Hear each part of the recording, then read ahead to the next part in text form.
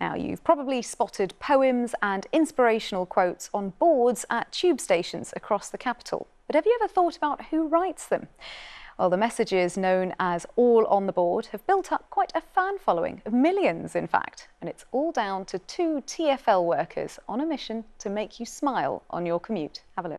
My name is Jeremy Chopra. I work for London Underground as a customer service assistant, and I'm also one half of All on the Board with. My name's Ian Redpath. I do exactly what he does, but I do it a little bit better. And uh, I'm also the other half of All on the Board.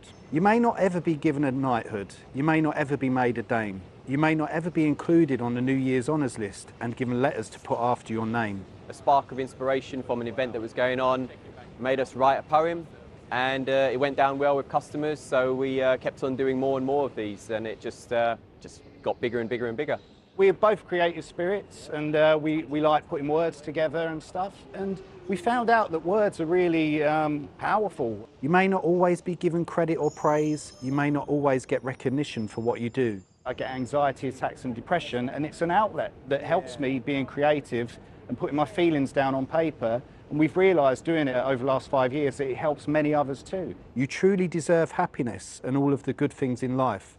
Please see this message as a way of honouring you. Yes, you. Thanks for being you. We have a platform that we can use to, to do some good by writing poems, quotes, uh, affirmations, stories, our own perspectives on things. We like to commemorate moments in history, you know, that, that captures a nation that we're excited about. And when the Lionesses brought it home in the Euros, we was just so excited and we had to mark that occasion, you know, because it finally came home. You didn't tap there, so what you what you need to do is then tap out. We work all over the network. Uh, every day is a different place, so that's why our boards can pop up anywhere, really. Um, over 100 different stations we can work at. Stop shining the spotlight on your defeats and highlighting every space in your life that's incomplete. Stop focusing on regrets and what you are not. We have received over a thousand direct messages from people saying that one of the boards or our book has saved people's lives or changed, changed people's lives.